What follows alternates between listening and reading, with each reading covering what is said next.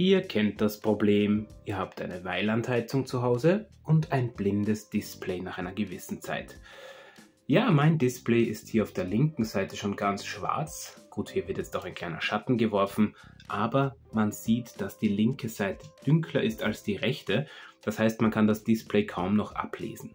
Es handelt sich bei meinem Gerät, nämlich das Steuergerät mit dem Display, um ein VRC Caloamatic MF oder auch MF Tech. Ich werde euch in diesem Video zeigen, wie man dieses blinde Display reparieren kann. Denn wenn ihr den Techniker bestellt, wird euch der sagen, mm, das ist leider nicht reparabel. Wir müssen ein externes Display einbauen, das ungefähr 1500 Euro kosten wird. Sie werden nämlich sagen, dass diese alten Steuergeräte nicht mehr produziert werden und daher nicht erhältlich sind. Bevor ihr loslegt, an eurem Heizungsgerät rumzuarbeiten, vergesst auf keinen Fall vorher das Ding stromlos zu schalten. Hier in meinem Fall habe ich den im Sicherungskasten die Nummer 14, ist unser Heizkeller und den schalte ich ab. Und erst dann fange ich an, am Gerät zu arbeiten. Das ist besonders wichtig, denn ihr müsst in das Gerät rein und zu stromführenden Teilen und dort sollte alles abgeschaltet sein, um euer Leben und eure Gesundheit zu schützen. Dies ist übrigens keine Anleitung, die jemand durchführen sollte, der keine Ahnung davon hat. Wenn ihr also keine Ahnung habt, wie es mit stromführenden Teilen so läuft, dann holt euch bitte Hilfe oder einen Fachmann. So, nochmal zur Erinnerung. Strom abdrehen, nur bearbeiten, wenn ihr auch eine Ahnung von der Materie habt. Ich übernehme hier keine Verantwortung, keine Haftung für irgendwelche Schäden am Gerät oder leider kann es passieren, auch am Menschen. So, für das Ausbauen des Moduls benötigen wir nur ein paar Schraubenzieher. In diesem Fall hier habe ich mir vorbereitet einen Schlitzschraubenzieher, einen größeren Kreuzschraubenzieher und einen kleineren Kreuzschraubenzieher. Der erste Schritt ist, hier an der Abdeckung die ersten beiden Schrauben zu lösen. Die zweiten Schrauben findet ihr hier unter dieser kleinen Abdeckung. Die beiden Schrauben müssen mal mit dem kleinsten Kreuzschraubenzieher gelöst werden. Das mache ich jetzt mal.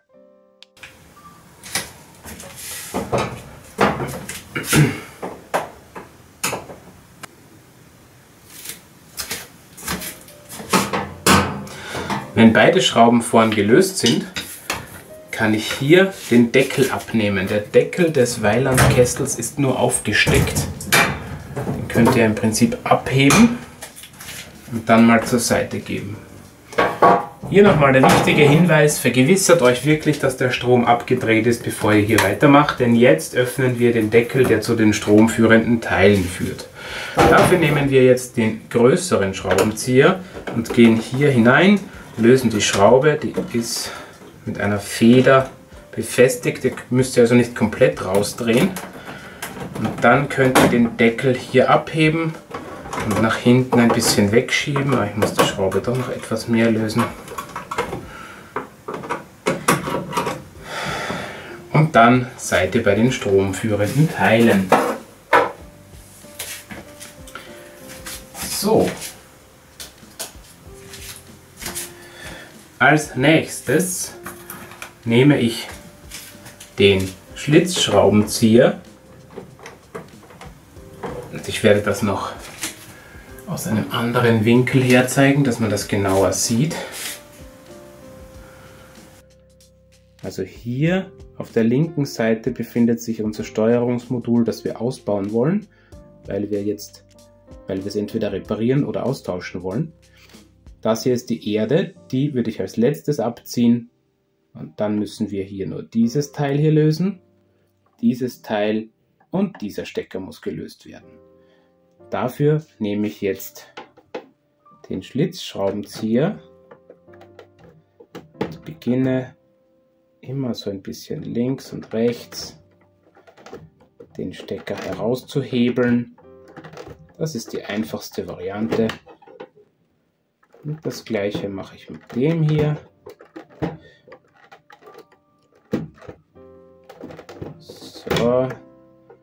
Und das gleiche mache ich mit dem hier. Am Ende ziehe ich die Erdleitung ab. So, jetzt muss ich die Kamera wieder zur Seite legen, da ich hier beide Hände brauche. Ich hoffe, dass man das halbwegs erkennen kann.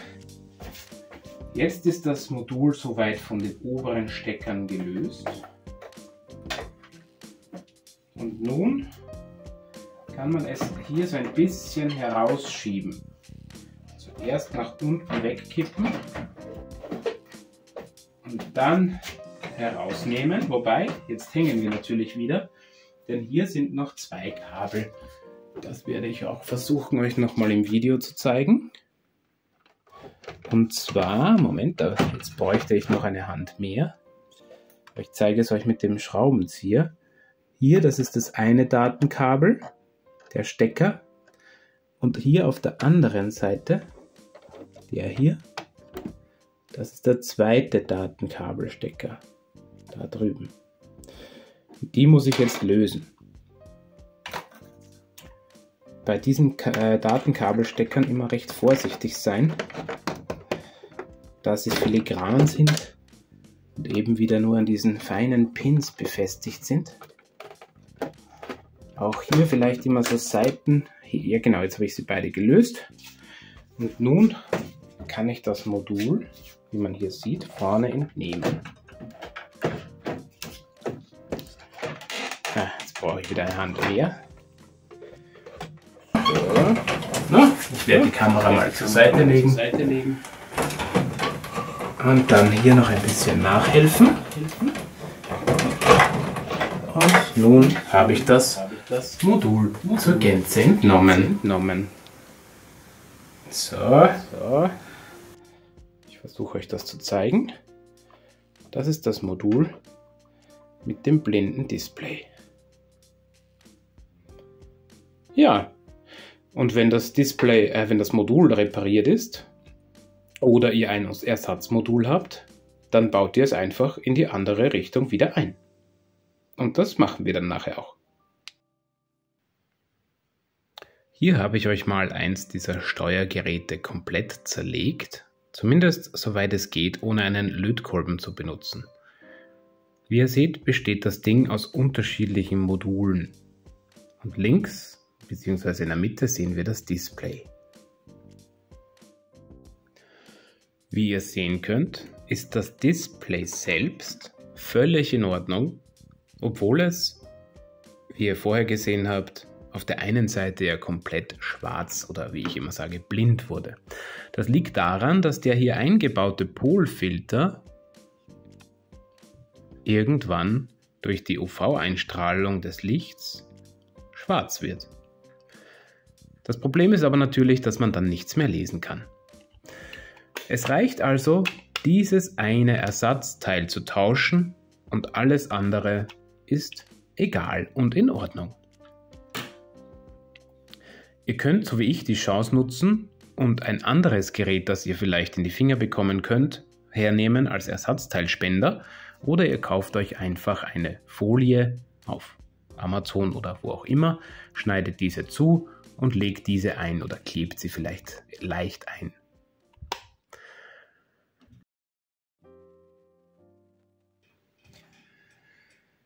Ja, hier haben wir ein Steuergerät ausgebaut aus dem Weilandkessel. Wie gesagt, ein VRC Calormatic MF oder wenn ihr im Internet danach googelt, werdet ihr vielleicht auch die Bezeichnung MF-Tech finden. Die steht manchmal noch irgendwo drauf. Jedenfalls werden wir das Ding jetzt auseinandernehmen. Aber vorher noch einen Schluck Kaffee. Hm. So, ihr dreht das Gerät um wie gesagt, die zwei Werkzeuge, mehr benötigen wir nicht. Auf der Rückseite habt ihr insgesamt vier Schrauben, die einfach mit dem Kreuzschraubenzieher gelöst werden.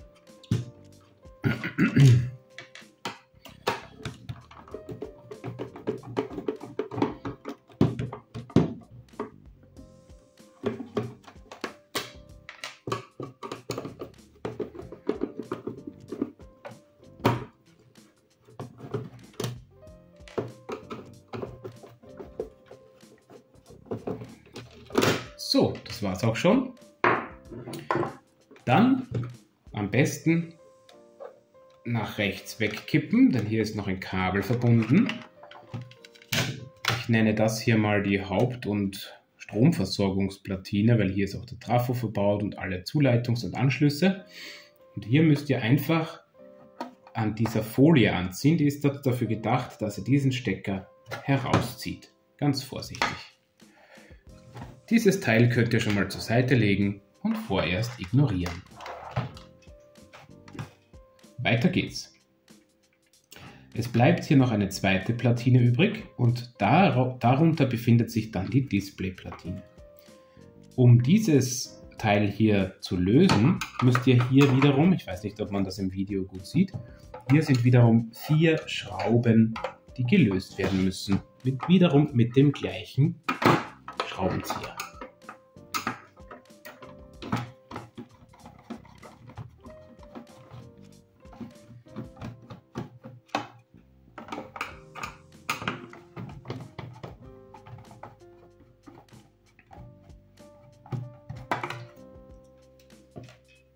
Diese Schrauben sind etwas kürzer.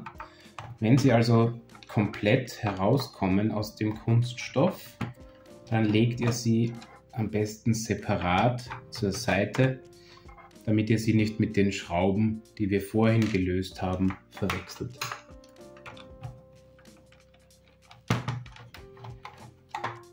So, bei mir sind hier drei hängen geblieben, aber es ist schon zu lösen.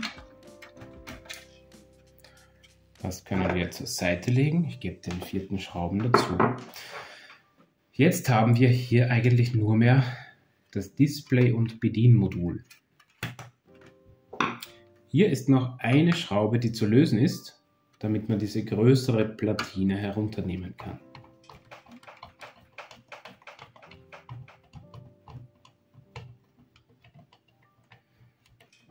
So, diese Schraube ist von der Größe wie die anderen vier innen, zumindest sehr, sehr ähnlich. Sie passen jedenfalls, aber ihr könnt sie auch nochmal separat legen, um zu wissen, dass sie hier hereingehört.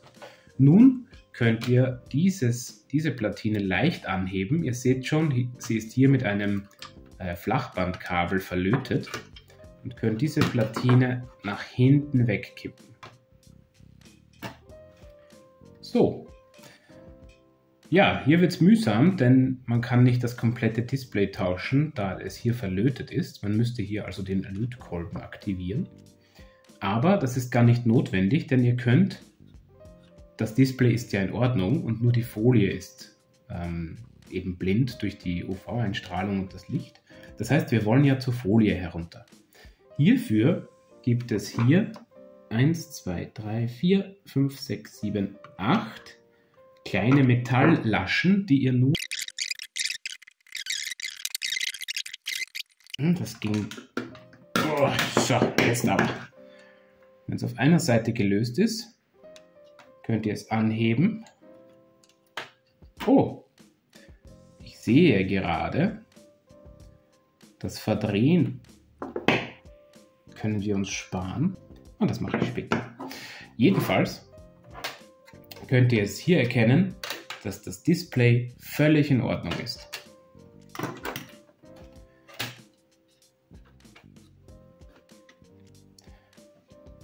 Das hier ist die Folie, die ebenfalls noch ganz in Ordnung ist. Ich zeige euch mal den Vergleich. Also man sieht hier, ich weiß nicht, ob man es auf dem Video gut sieht, ähm, an den Rändern ist es noch komplett durchsichtig. Es ist hier keine Folie, sondern mehr ein Plastikplättchen. An den Rändern ist es noch komplett durchsichtig. Das ist der Bereich, wo, die, wo nie Licht hinkam. Und in der Mitte ist es schon etwas dünkler. Man sieht hier so einen gelblichen Stich. Das ist natürlich der Anfang vom Ende, denn irgendwann sieht es so aus und ihr könnt gar nichts mehr ablesen. Das heißt, dieses Ding hier ist noch deutlich brauchbarer und deutlich besser als dieses denn mit diesem hier konnte ich fast keine Werte mehr in diesem Bereich erkennen, was natürlich für die Steuerung der Heizung alles andere als toll ist. Das heißt, wir werden jetzt dieses Ding im anderen Gerät einbauen. Und dieses hier werden wir so lang offen lassen und später werde ich noch eine Folie nachbestellen und dann auch das reparieren.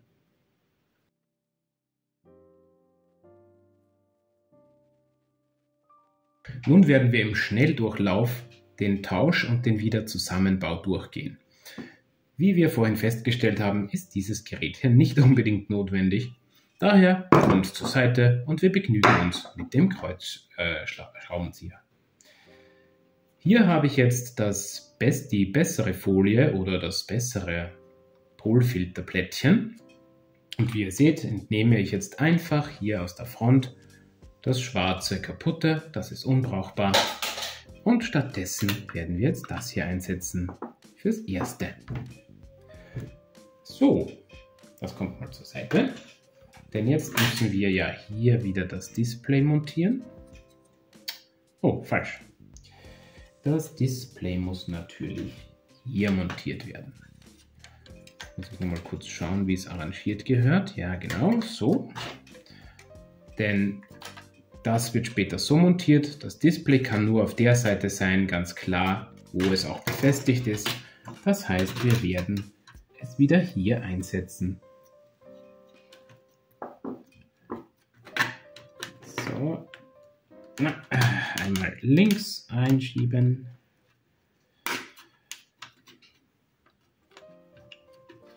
So. Und einmal runterdrücken.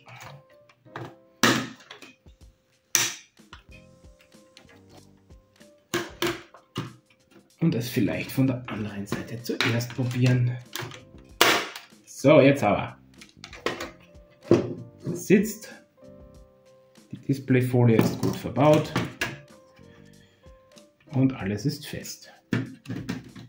So, nun können wir das hier wieder umdrehen. Hier müsst ihr darauf achten, dass hier die Schraubauslassungen gut aufliegen. Und dann können wir schon die Abdeckung aufsetzen. Ich habe hier die Schrauben hier bereits drin. Verkehrt.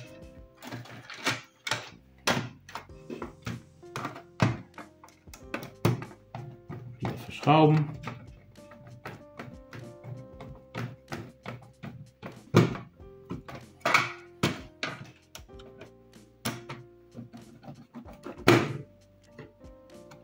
So, und jetzt fehlt hier noch der vierte Schrauben, den habe ich mir hier separat, den kürzeren gelegt, für die Mitte, damit die Platine schön fest sitzt.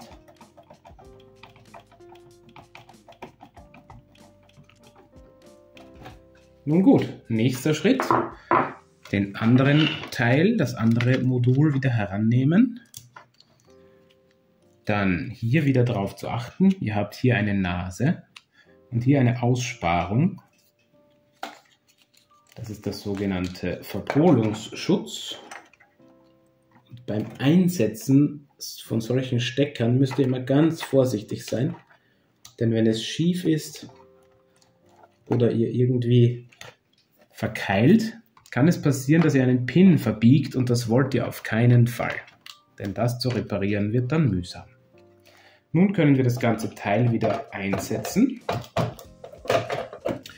Das ist auch eine bisschen Flickelarbeit, hier wieder alles einzusetzen, dass alles gut passt. Die Platine muss hineinrutschen. Jawohl, sieht gut aus.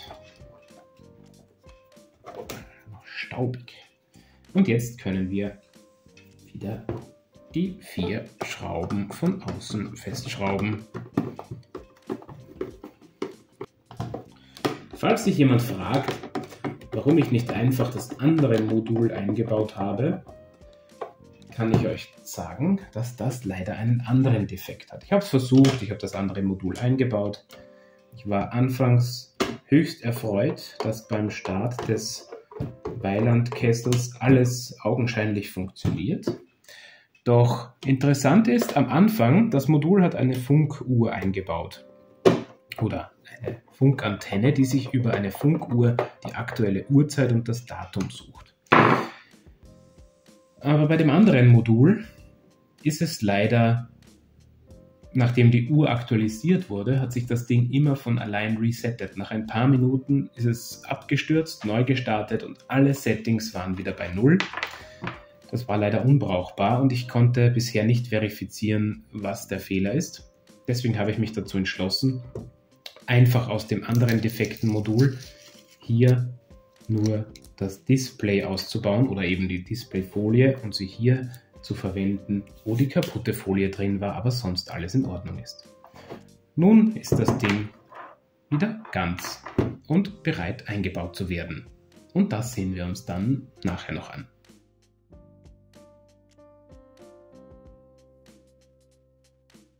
Das reparierte Modul mit dem schönen Display haben wir jetzt parat. Das heißt, wir bauen es wieder ein. Wieder von vorne reinschieben, dann die Datenkabel verbinden mit den Steckern. Hier wieder Achtung wegen den Pins und ihr habt auch hier wieder die kleinen Knubbel dran, damit ihr sie nicht verpolt. Die kleinen Knubbel sind immer rechts bei beiden Steckern. Das heißt, wir werden jetzt das hier mal einführen. Wieder der Hinweis, Achtung, es darf hier auf keinen Fall Strom anliegen, also seid euch sicher, dass die Sicherungen für euren Heizkeller abgedreht sind. Am besten ist es, das Modul nicht gleich reinzuschieben, sondern es hier nur herzuhalten und mit der zweiten Hand schon mal die Datenkabel anzustecken. Das ist ein bisschen eine Fitzelei. Und hier, wie gesagt, ist Vorsicht die Mutter der Porzellankiste, wie man so schön sagt. Er hat sich eigentlich diesen dummen Spruch einfallen lassen. Nun, den linken Datenstecker haben wir verbunden. Der rechte Datenstecker folgt sogleich. Ja. Nun können wir auch gleich den Erdstecker wieder anstecken, hier auf der linken Seite. Geht recht streng drauf. Aber wenn er mal sitzt, dann sitzt er. Und jetzt wieder oben einfädeln, unten nachschieben. Ein bisschen muss man es hin und her rücken, bis es komplett sitzt. Und dann kann man hier wieder den einen Stromstecker montieren, den vierpoligen Stecker und dann noch den Ah, der hat sich verkeilt. Und dann noch den dreipoligen Stecker. So. Herrlich. Dann sehen wir zu, dass alle Kabel hier wieder drin sind. Als nächstes werde ich gleich wieder vorne die beiden Befestigungsschrauben montieren, damit das Modul nicht mehr verrutscht.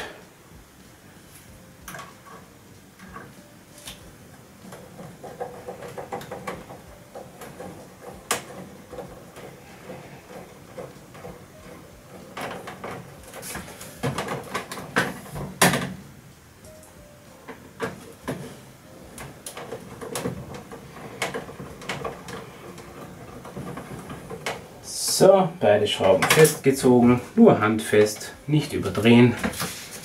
Und hier überprüfen wir nochmal Erde angeschlossen, Stecker angeschlossen. Alles fertig, alles super. Dann nehmen wir uns wieder den großen Kreuzschraubenzieher zur Hand. Montieren wieder die Sicherungsabdeckung für die stromführenden Teile.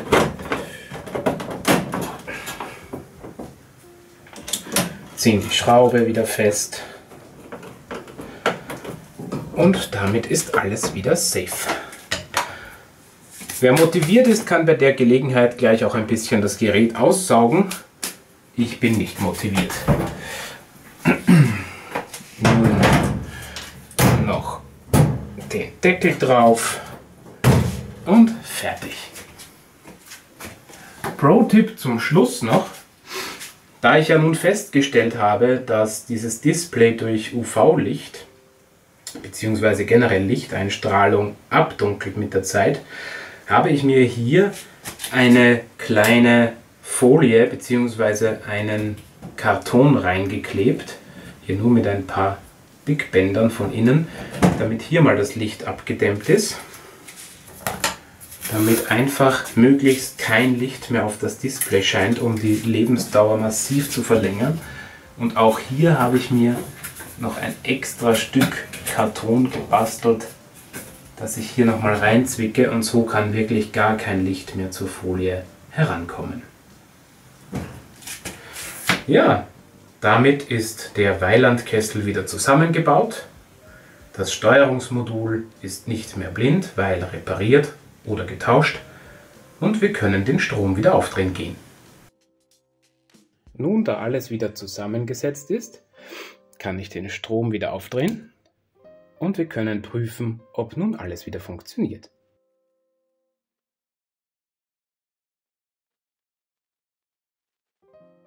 Ich hoffe, dieses Video war dir eine Hilfe. Lass doch ein Like oder einen Kommentar da und erzähl mir, wie der Umbau bei dir geklappt hat. Und abonniere auch gerne meinen Kanal.